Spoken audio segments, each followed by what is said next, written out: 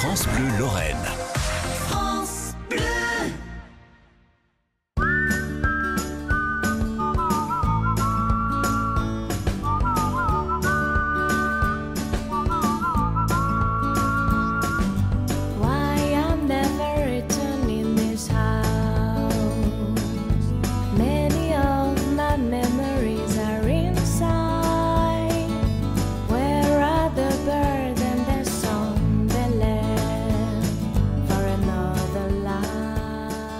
Bonjour à tous, vous en doutez, je suis ravi de vous retrouver pour ce nouveau numéro du magazine Sur ma route.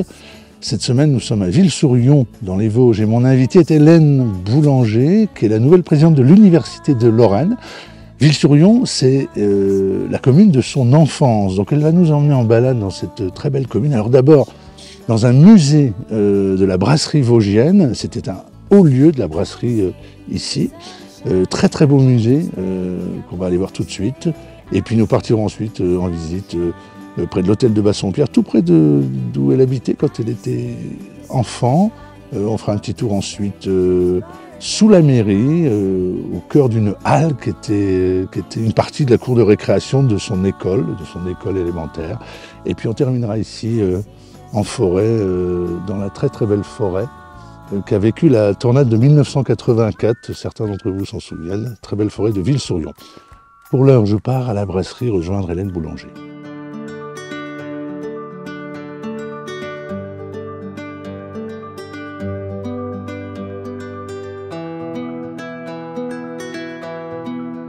Bonjour messieurs, dames. Bonjour. Salut Madame le maire. Bonjour Monsieur ça va Vianney. Ça va Bonjour Jean-Aimé, Monsieur le Président. Avant qu'on parle avec Madame le maire, un mot avec vous. Euh, Vous êtes le président de ce, de ce superbe musée de la brasserie vosgienne. Oui, donc, Qu'est-ce qu'on y voit euh, ici? Eh bien, donc euh, notre musée est un témoin d'une grande période de Ouais. l'histoire industrielle des Vosges. Euh, L'histoire de la bière dans les Vosges est très ancienne. Ouais. Et donc, à Ville-sur-Ilon, on a eu une première brasserie en 1630, euh, 1627. Ah ouais, ça remonte Et puis ensuite, donc au 19e siècle, eh bien, un Alsacien, Jacques Lobsen, est venu s'installer à Ville-sur-Ilon et c'est lui qui a fondé cette euh, bra- grande brasserie indu- industrielle, donc qui a fonctionné en tant que brasserie jusqu'en 1956. D'accord, d'accord. Et puis donc euh, on a donc euh, ajouté à la présentation donc des anciens bâtiments euh, toute une partie euh, muséographique consacrée aux brasseries vosgiennes. Il y en a plein. Alors il faut venir ici dans ce musée et il faut boire la bière, Bière de- de Ville-sur-Yon. Euh, La Ville-sur-Yon, j'ai appris, Madame le maire, euh, en arrivant, que vous étiez une vilaine. Et vilain. ah oui, nous sommes des vilains vilaines. Et que Hélène Boulanger, la présidente de l'université, qui est mon invitée, est une vilaine aussi. C'est le gentilé des, des habitants de Ville-sur-Yon. C'est un peu surprenant. Oui, bah oui, c'est bon. Avant, on n'en parlait pas trop. On disait euh, les Io- Lyonnais ou Lyonnaises ou ville Lyonnais. euh, Mais vous l'assumez bien. Oh, ça va. Oui, moi, ça ne me dérange pas. Au contraire, je trouve que c'est un, beau raccourci. Et puis, euh, bon, ça va. C'est un bel établissement vous avez ici, un, un bel établissement touristique euh, Tout à fait, qui, oui. qui attire du monde à Ville-sur-Yon. Il faut vraiment qu'on le signale parce que c'est vraiment, il y a plein plein de choses à voir. Ah, bah, a- fantastique. oui, c'est énorme. hein. Ah, c'est bien. Ah oui, c'est très bien. Et puis c'est vrai que la, comment, l'écomusée de la brasserie est connu quand même dans toute la, région ouest. Ouais, hein, ouais, euh, bien sûr. Et euh, il y a beaucoup quand même de touristes qui passent, euh, qui vont, mettons, en cure euh, à Vitel, là-bas, et qui viennent les après-midi pendant l'été. On situe pour les gens, on est entre Épinal et Vitel en gros. Voilà, c'est ce que je dis toujours entre. Épinal et Vitel. Hum? Un mot, Madame le maire, avant que je rejoigne mon invité, Hélène Boulanger. Euh, je suis content que vous soyez là parce que vous, vous l'avez connue. euh, Ah, mais que je l'ai- Elle a passé toute son enfance ici, à Oui, Ville-sur-Yon. bien sûr. J'ai connu, bah, je l'ai connue petite, elle est née Ouais. comme ses frères et sœurs. Je, je connais très bien ses parents puisque ce sont des amis à, à moi où je vais euh, régulièrement chez eux. euh, voilà. Donc Hélène est née en 1970, je dirais dans une famille euh, aimante, euh, protectrice, euh, comment, très valorisante. Et moi je veux dire aussi que c'est pas parce qu'on vit dans un milieu rural qu'on ne réussit pas. Parce que je- on a quand même beaucoup d'exemples à ville, euh, des jeunes qui ont très très bien réussi et qui ont des euh, vraiment des, professions remarquables. Bien sûr. Voilà, donc euh, le milieu rural euh, peut euh, faire naître euh, aussi des, Il y a des plein vocations. d'exemples, Ah oui, oui, il y a plein d'exemples. les Vosges, oui, oui, oui. Merci, Madame le maire. Je peux rejoindre Hélène Boulanger. oui.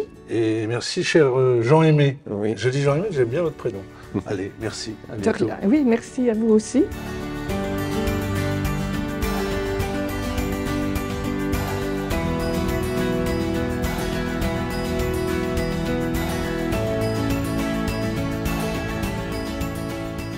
Bonjour, Madame la Présidente.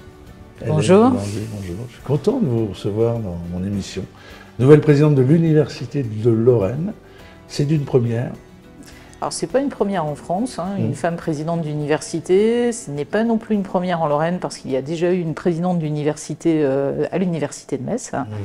Euh, mais c'est une première pour l'université de Lorraine. de Lorraine. Parce que ça a fusionné, tout ça a fusionné il y a une quinzaine d'années, Il y a ça tout pile 10 ans. Ah, 10 ans, voilà, Mm. d'accord. Ouais, ça me rappelle des souvenirs d'études. 450 ans pour l'université en Lorraine, hein, parce que la fondation de la première université en Lorraine à Pont-à-Mousson, c'est euh, il y a C'est 450 vrai, ans. ouais. Ouais.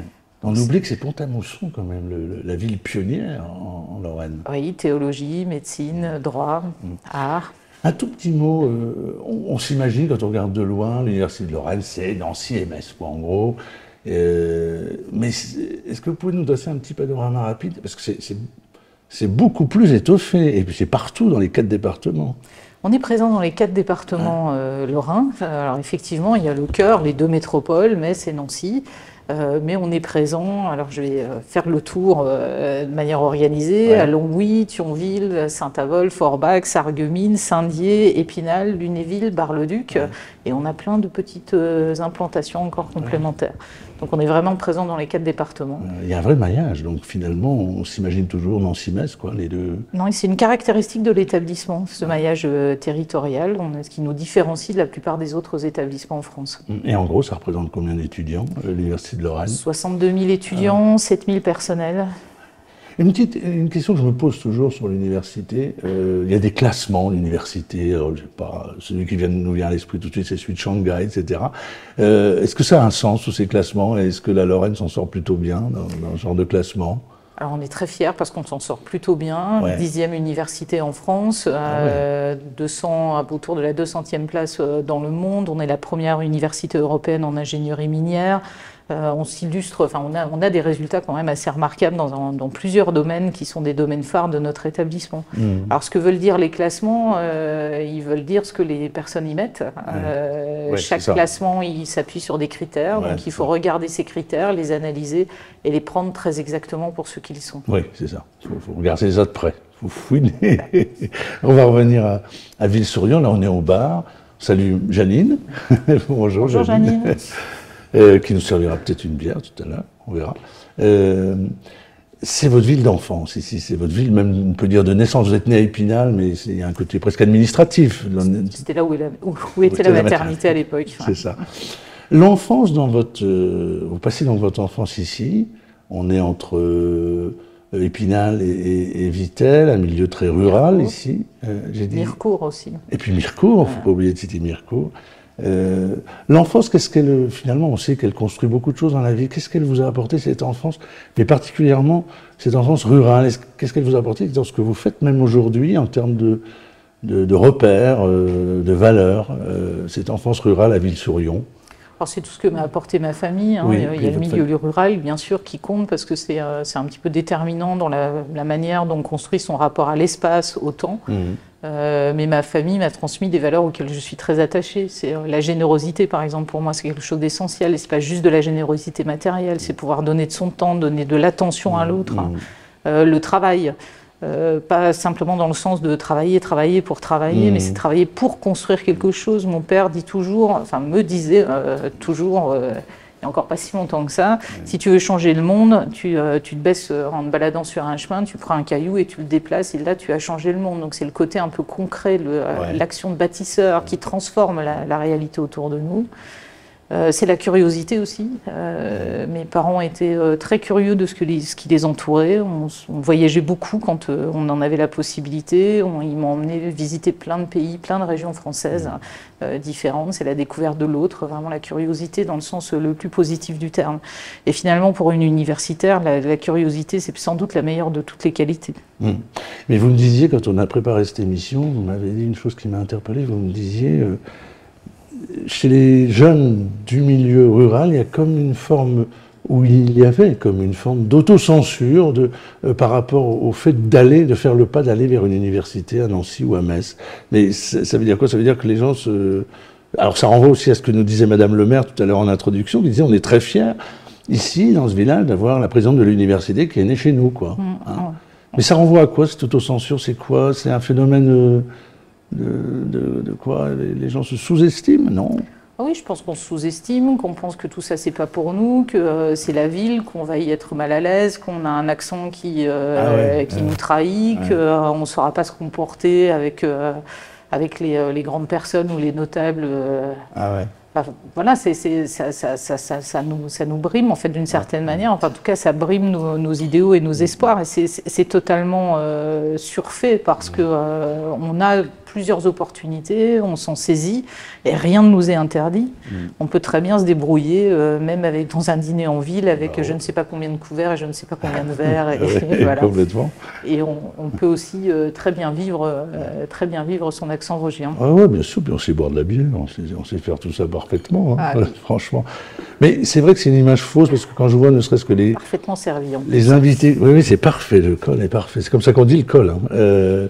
Euh, quand je vois tous les invités, ne serait-ce que j'ai eu dans cette émission, des, personnalités, des écrivains, des... il y en a plein qui sont nés des gamins de, des, des gamins de, de la ruralité, quoi, je veux dire, et qui sont parfois même beaucoup mieux débrouillés que les autres. Mais il faut que ça se sache. Et il faut qu'on Ouais. dise aux jeunes ici et euh, dans tous les villages alentours Ouais. et euh, ailleurs dans les départements lorrains que c'est possible et que ça leur est ouvert, Ouais. que rien n'est interdit. Mm. Et que c'est euh, nous qui avons à construire notre propre avenir et que là où nous sommes nés n'est pas un déterminant pour ce que l'on pourra devenir ou faire un jour. Et ça, c'est essentiel. Complètement. Et quand on regarde votre parcours, ça en est la preuve. Euh, Alors juste un petit mot, puis on va poursuivre sur votre route. Euh, l'école est donc, ça se passe ici, à l'école, et, et la, la petite Hélène Boulanger, euh, dans les années euh, 70, donc hein, c'est ça, euh, elle rêve de quoi? Elle ne se dit pas le matin, en se levant, je serai présidente de l'Université de Lorraine, elle veut faire quoi?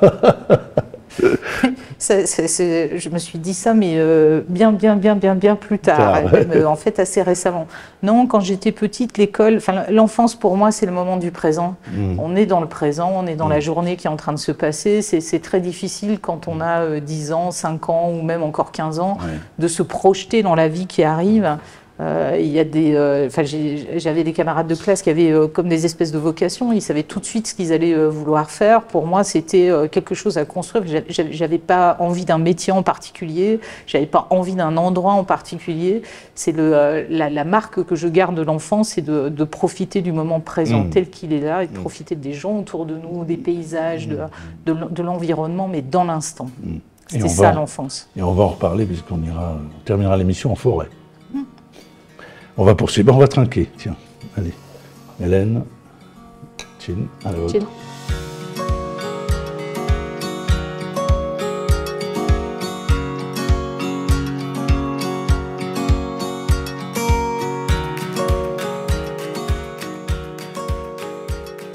Donc nous voilà à l'hôtel de Bassompierre. C'est le deuxième lieu où vous avez voulu venir, Hélène Oui, c'est mon terrain de jeu quand j'étais enfant. Ici? Oui. Ah ouais? Oui.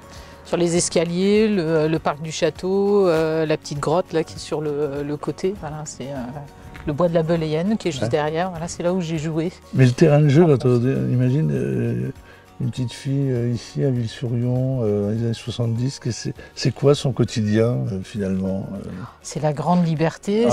c'est le jeu, c'est ramasser les marrons, essayer de faire de la confiture de sureau de manière assez approximative. C'est jouer aux cow-boys aux Indiens. euh, Enfin voilà, jouer, profiter du temps, Mhm. profiter de l'instant. Il y a un autre rapport au temps quand on, quand on est ici de, de ces milieux. On en parlera peut-être tout à l'heure en forêt, mais ne serait-ce que la façon dont cette nature évolue. Est-ce qu'on prend le temps différemment euh, ici? Alors forcément, parce que euh, quand j'étais adolescente, par exemple, le fait d'aller voir mes copains ou mes copines, euh, bah, ça signifiait prendre le vélo, faire euh, au moins 10 km aller-retour. Ouais. Alors bon, c'est pas les Hauts-de-Vosges, mais ça reste quand même assez vallonné. Ouais, ouais. Donc on y réfléchissait à deux fois avant de faire un trajet. Enfin, voilà. Donc on a un, un rapport au temps qui ne peut pas se construire dans le- dans, dans l'instant immédiat. Mm. On ne peut pas attendre euh, un résultat immédiat. Et on apprend forcément la patience ici. La patience de voir les arbres pousser, que ce soit les arbres dans les forêts, les arbres dans les vergers, les plantes pousser dans le jardin, Mm. parce qu'elles vont nous nourrir. Euh, les animaux nous apporter aussi le, le fruit de leur, leur production, les œufs, mais on- il faut être patient. Mhm. Mais est-ce qu'on peut lier aussi cette réflexion-là euh, On est ici au cœur du village de Ville-sur-Yon, où habitent toujours vos parents d'ailleurs, hein, euh, avec un patrimoine. euh, Mon nom est sur la boîte aux lettres, là, juste en dessous. Ah oui, juste en dessous là, de l'hôtel de Vassonbière. Donc euh, vraiment, vous êtes resté une vilaine, comme Bah on oui. dit. On reprécise que c'est le gentilé des noms, de- le gentilé des habitants de Ville-sur-Yon. Je disais donc, et ce rapport-là, est-ce qu'il s'explique aussi avec le, ce patrimoine? Parce qu'il y a une ambiance très particulière à Ville-sur-Yon, je trouve. hein. Euh, euh, un petit- même un petit côté désuet, mais très charmant, avec de, de vieilles bâtisses. Et on, on- on se retrouve dans cette ambiance-là. Est-ce que ça, vous, vous, vous aimez l'observer aussi, ce patrimoine qui, qui évolue, qui vieillit, qui... que Alors moi j'ai une passion pour le patrimoine, hein. Euh, déjà pour des questions d'ordre esthétique, parce Ouais. qu'il il faut apprécier l'architecture euh, quand elle se présente à nous, Mmh, mmh. de quelques moments de l'histoire qu'elle vienne. Ouais, J'aime aussi beaucoup l'architecture moderne. Euh, mais ça nous dit aussi, et euh, c'est peut-être particulier de l'histoire de la Lorraine, euh, que c'est pas parce qu'on construit quelque chose à un moment que le moment d'après, cette chose-là, elle est toujours présente. Ouais. On a des objets qui ont disparu. La citadelle euh, de la famille de Lorraine à la Motte, aujourd'hui, ce sont des ruines. Euh, le- bon, les rapports entre la Lorraine et la France, qui ont toujours été assez compliqués, ont amené une disparition d'une partie de ce patrimoine. Donc pour moi, quand on regarde le patrimoine, c'est aussi l'enseignement que rien n'est jamais acquis et qu'il faut s'en occuper. Il faut le préserver, il faut le protéger, il faut le développer. Et c'est un peu le sens que je mets dans mon action à la tête de l'université. C'est rien n'est jamais acquis. Il faut toujours continuer à faire avancer, à construire, à faire progresser les choses. Mhm. Et d'ailleurs, on va le voir aussi, on va descendre là dans les halles, la halle ou les halles de la mairie. Les halles. Les halles. La mairie, c'est un très beau patrimoine également. Oui, mais alors, tout petit, hein, parce que quand on dit, quand on Oui, dit oui, les halles, on imagine des choses. Oui, euh, oui, voilà, mais c'est à l'échelle du village. à voir, on va voir, on, on va voir ça. Vous parliez de, à l'instant de, euh, de l'université, de la présidence de l'université. En un mot, euh, ça consiste en quoi être présidente d'une université? Ah, ça consiste pour moi principalement à protéger le, ce qu'on appelle les libertés académiques, c'est-à-dire la possibilité pour euh, les chercheurs, les enseignants, euh, de produire et de partager des connaissances en étant le, libres euh, dans leur action. Et ça, pour moi, c'est la fonction principale de Mm. la présidence de l'université. C'est d'être garant du fait que l'université reste un lieu où on est libre, Mhm. où on produit et où on partage de nouvelles connaissances. Et, alors, vous avez enseigné d'abord. Alors, vous avez fait vos études à, à- à Nancy, voilà. Ça Tac. ça- ça- ça m'a réveillée pendant toute mon enfance, Ah, ce bruit-là. Oui. Ah, vous voyez, c'est- on l'a pas fait exprès, hein. on aurait pu. Ça sonne tous les quarts d'heure, donc c'est un peu inévitable. Euh, ouais, l'université, vous avez, euh, vous avez fait vos études à Nancy et à Metz, hein, c'est ça. Et puis vous avez enseigné ensuite à, À Nancy. à Nancy. Vous êtes présidente aujourd'hui. Et aujourd'hui, quand on est président, est-ce qu'on n'est pas un peu dans sa bulle Est-ce qu'on garde quand même ce contact avec les jeunes, les étudiants, ceux qui viennent étudier, ou est-ce qu'on est vraiment noyé dans, dans, dans une gestion avec les enseignants etc. Alors ça fait partie des risques hein, Ouais. associés à la fonction. Moi j'ai encore fait cours l'année dernière et j'espère bien au cours de mon mandat arriver à retrouver l'occasion d'enseigner Ouais. parce que c'est... euh, c'est un peu comme la potion magique pour Obélix. hein. Je suis tombée de- de- dedans Ouais, à un moment. J'aurais jamais imaginé être enseignante un jour, mais euh, quand je l'ai découvert, c'est euh, voilà, une vraie passion, comme la recherche d'ailleurs. Donc avec grand plaisir, je retrouverai les étudiants dès que mon agenda me le permettra. Euh, J'avais un collègue qui disait, mais c'est quand même fou, euh, tous les ans, les étudiants rajeunissent d'un an. Parce que, oui, c'est vrai, c'est marrant. tout à fait ça. C'est quelque chose qui nous, euh, qui nous porte, là aussi, dans l'instant présent. hein, c'est un peu ce que je disais sur, euh, à propos de mon enfance. Et, euh, on est obligé d'être en phase avec, euh, avec le moment présent quand on est en échange avec les étudiants. Et ils viennent nous questionner, ils viennent nous poser un certain nombre de défis. Ça nous oblige à progresser. C'est, c'est, et, et on a quelque chose à donner. C'est, euh, ça renvoie un peu à une valeur à, à laquelle j'accorde beaucoup d'importance, qui est, qui est la générosité. En fait. Mm. Être enseignant, c'est être généreux. Très bien, on va poursuivre. On descend à la mairie. À la mairie. Allez, on va visiter les halles.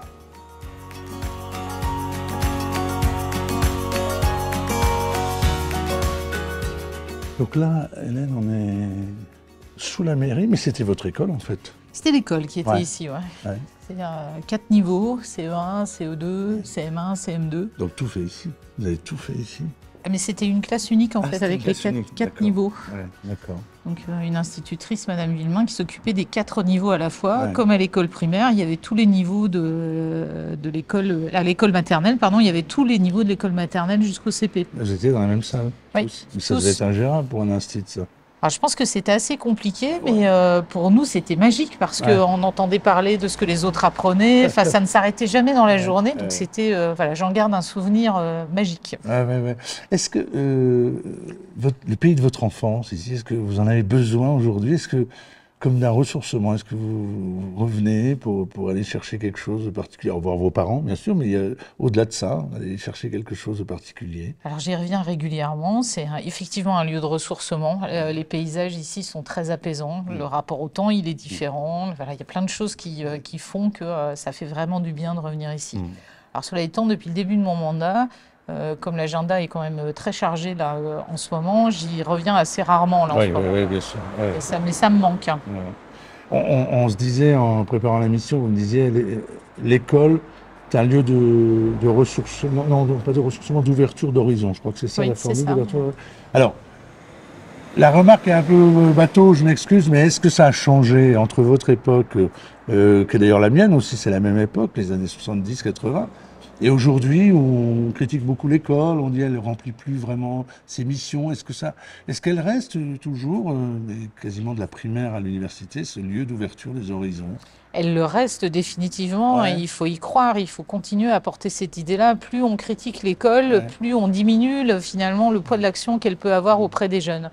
Donc il faut continuer à porter ce discours-là parce que c'est vraiment un lieu d'émancipation. Alors il y a plein de choses qui ont changé hein, depuis, que, euh, depuis euh, il y a un certain nombre d'années quand j'étais petite. Et euh, ce qui a changé notamment, c'est euh, bah, l'accès à la connaissance est beaucoup plus facile aujourd'hui. Plusieurs manières en fait d'accéder à la connaissance, mais euh, l'école, c'est ce qui structure ces connaissances, qui apprend à apprendre aussi. C'est un lieu qui est incontournable. Donc il faut y croire, il faut le porter auprès des enfants, ça.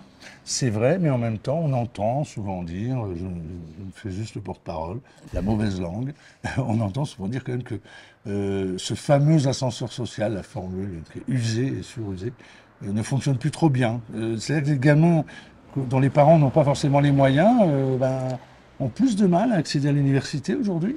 Il n'avait pas fonctionné pour mes parents non plus. Ouais, enfin, ouais. le, c'est là où l'histoire est intéressante parce Mhm. qu'elle nous permet de faire un pas de côté et puis de prendre un petit peu de distance par rapport à tous les discours qu'on peut entendre aujourd'hui. Mais une nouvelle fois, l'école de la République, c'est un lieu d'émancipation, c'est le lieu qui permet à chacun de s'exprimer et de se réaliser. Y croire, c'est leur donner cette chance-là chance -là aussi.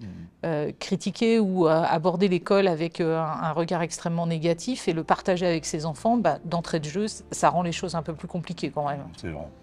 On va y croire alors. Il faut. On y croit. Oui, il faut. On y croit. On y croit et on va en forêt maintenant? Oui. Faire un petit tour en forêt pour terminer l'émission.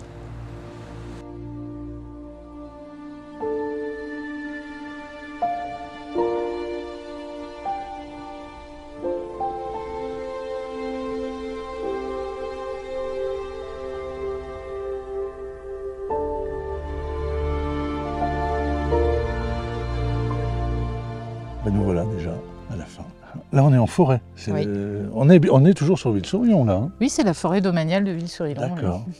Alors, il y a un, un attachement, je pense, très particulier à cette forêt parce que peut-être beaucoup de nos amis téléspectateurs ne s'en souviennent pas, mais 1984, ici, c'est une date très particulière. hein. Ah oui. Ouais. Il y a eu ce qu'on appelait à l'époque une tornade. Alors, je ne sais pas très bien si c'est une tornade, je ne suis pas experte et je ne le Ouais. suis toujours pas. C'est si la tornade, Voilà. je crois. Mais simplement pour l'illustrer, euh, ici quand j'étais petite, on voyait presque pas le ciel. Euh, il y avait des futaies extraordinaires, très hautes, et euh, cette tornade a haché menu tous les bois autour de nous, toute la forêt en fait. Tous les troncs étaient coupés à peu près un mètre, deux mètres de, de hauteur, Euh, et on a là le, le témoignage du, du temps qu'il faut pour, euh, pour euh, reconstruire la forêt, pour lui permettre de se développer. C'était quand même il y a pratiquement 40 ans, Mhm. et euh, quand on lève les yeux, on le voit encore très bien le ciel. Ouais, Oui, oui, c'est ça. C'est-à-dire que ça, met- ça met le temps, ça, ça nous, Ça met du temps. ça nous questionne.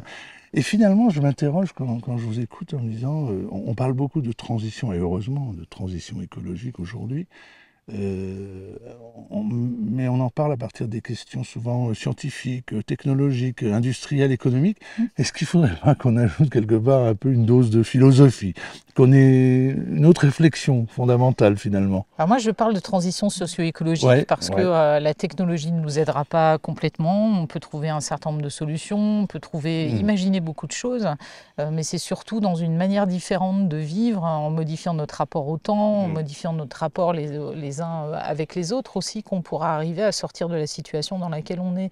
Et je trouve qu'il ne faut pas réduire ça uniquement à des... euh, voilà, il nous manque une technologie Mhm. ou euh, on va inventer une énergie verte. La réalité, c'est que nous, en tant que personnes, on doit construire un rapport différent au monde. Et c'est compliqué à envisager parce qu'on aime bien notre confort, la manière dont on vit, la, la facilité que nous a apporté la société de consommation. Et là, la vraie question qu'on doit se poser ensemble, c'est comment on sort de ce système-là? Comment on retrouve un rapport finalement apaisé au temps et aux autres L'arrivée de votre famille à Ville-sur-Yon, ça nous connecte aussi à une grande page de l'histoire de la Lorraine, puisqu'une partie de votre famille, je crois, est, est expatriée d'Alsace, c'est ça au Oui, moment mon, de... mon arrière-grand-père maternel, euh, Eugène Fritsch, euh, il a quitté sa famille au fond de la cathédrale de Strasbourg, Ouais. au pied de la Vierge Noire. Il a dit au revoir à ses parents, il les a plus jamais revus. Mmh. Il voulait pas faire son service militaire dans, dans l'armée prussienne. Et donc, il est arrivé dans les Vosges Oui. et il a trouvé un travail euh, à la brasserie de Ville-sur-Yon. Ah, c'est ça. ouais, Et, d'accord. euh, où il était euh, maître brasseur et euh, voilà donc euh, il parlait pas français c'était il était complètement déraciné Mais cette page d'histoire familiale, est-ce qu'elle vous finalement euh, vous fait voir les choses différemment euh, dans la vie de tous les jours, c'est-à-dire la- la- un certain nombre de fragilités du monde qu'on voit encore aujourd'hui, quoi, avec ce qui se passe en Ukraine. euh. Alors, dans notre euh, histoire familiale, on a gardé au fond de nous hein, l'idée de euh, qu'est- qu'est-ce que ça représente d'être euh, au, au milieu de deux peuples qui sont en train de se faire la guerre, et c'est un peu l'histoire des Alsaciens. Euh, quand la France et l'Allemagne sont en guerre, ils sont pas bien en Allemagne, ils sont pas, ils sont pas bien en France. Et euh, ce, que, ce, que, ce, que, ce que- ce que ça traduit pour moi, c'est euh, l'idée que euh, la paix, le fait de pouvoir vivre en paix, c'est un- une chance formidable Mm. qu'on a aujourd'hui, même si le conflit s'est déclenché en Ukraine encore assez récemment. Mais cette, euh, cet amour de la paix, la volonté de préserver la paix, elle est ancrée très très fort en moi. Hmm. Un tout dernier mot. euh, La Lorraine est quand même extrêmement diverse, hein, quand on va de Longwy à Remiremont, et puis qu'on remonte euh, à Beach, etc. Richesse. Une formidable richesse. Mais euh, selon vous, c'est quoi finalement qui, qui réunit tous ces Lorrains? Qu'est-ce que- Quel est le, le lien entre tous ces Lorrains? Alors moi, je vois la Lorraine comme étant une terre très dynamique, tournée vers le futur bien davantage que vers le passé. Le Ouais. passé, c'est euh, quand on regarde le passé, on sait un peu mieux, on comprend mieux ce que l'on est, on peut imaginer notre avenir un peu plus facilement, mais on est tourné vers le futur. Et pour moi, la Lorraine, c'est une forme de trait d'union entre l'Est, l'Ouest, le Sud, le Nord, avec toute sa zone transfrontalière, avec son rapport avec tous les peuples qui nous entourent. Donc ce- cette fonction de trait d'union, elle traduit aussi le fait que c'est une terre de brassage, la Lorraine. Mhm. Ça brasse des populations, les flux migratoires euh, nous habitent, nous nourrissent, nous enrichissent. C'est la prise en compte de l'autre, c'est l'amour de l'autre aussi, l'accueil dans sa diversité. Et ça, voilà, la Lorraine, c'est euh, l'endroit où il faut être en fait. vrai. Une terre de brassage dans une ville, un pays de brasseurs. Oui. Je ne peux pas aller au-delà, c'est une très belle conclusion. Merci Hélène Boulanger. Merci Yannick. Pour ce moment très agréable.